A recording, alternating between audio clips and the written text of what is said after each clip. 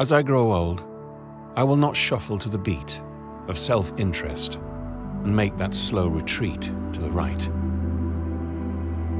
I will be a septuagenarian insurrectionist, marching with the kids.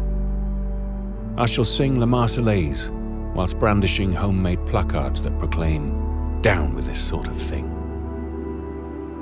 I will be an octogenarian obstructionist and build unscalable barricades from bottles of flat lemonade, tartan blankets, and chicken wire.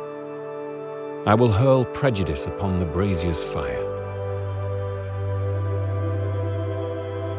I will be a nonagenarian nonconformist, armed with a ballpoint pen and a hand that shakes with rage, not age, at politicians' latest crimes and strongly worded letters to the Times. I will be a centenarian centurion and allow injustice no admittance. I will stage long standing sit ins. My mobility scooter and I will move for no one.